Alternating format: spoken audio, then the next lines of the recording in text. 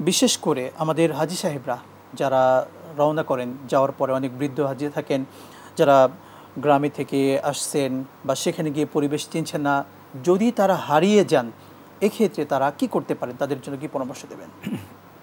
দেখুন হ্যাঁ আমাদের অনেক হজযাত্রী কিন্তু হারিয়ে যান।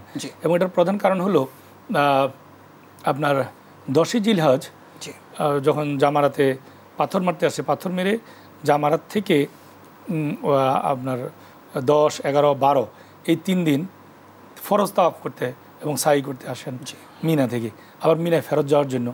এই রাস্তাটা অনেকেই যে আমাদের গ্রুপ মুভমেন্ট সেটা হয়তো ঠিকমতো থাকে না অনেক সময় হারিয়ে যান জি। দলছুট হয়ে যান। তো এটা আমি অনুরোধ করব যারা জলছুট হয়ে যান তারা যাতে ভয় না পান। আশেপাশেই উনি দেখবেন যে আমাদের হজকর্মী আছে কিন্তু। বাংলাদেশ হজকর্মী বাংলাদেশ হজ মিশন লেখা থাকে তাদের গায়ে একটা ইউনিফর্ম থাকে। তাদের কারও সহায়তা নিলেই হবে। তারা হজ জাতিদেরকে সাথে সাথে আমাদের হজ মিশনে পৌঁছে দেয়। সেখানে আমরা তদারকি করে আমি নিজে থাকি সেখানে। আমরা হজ জাতি জাতিদেরকে নিয়ে আসে। নিয়ে আসলে ওনার কিচ্ছু লাগবে না। উনি যদি কথাও না বলতে পারে তাতেও আমাদের সমস্যা নেই। আমরা জানি আমরা বের করতে পারি যে উনি ওনার লোকেশন কোথায় ওনার গ্রুপ কোথায় আছে। বাকি দায়িত্ব আমাদের। এখানে আমরা সেবা শুশ্রূষা করি খাবারের ব্যবস্থা আছে এবং পৌঁছানোর আগ পর্যন্ত থাকার ব্যবস্থাও আছে। সো কেউ যাতে ভীত না হন এটা একটা।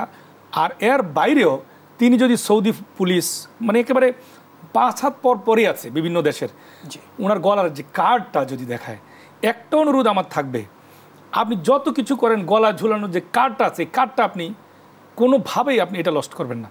অনেকে কি করে ওয়াশরুমে গিয়ে কার্ডটা খুলে রেখে তারপরে ওয়াশরুম সেরে এবার কার্ডটা কার্ডটাও রেখে দিয়ে চলে আসে।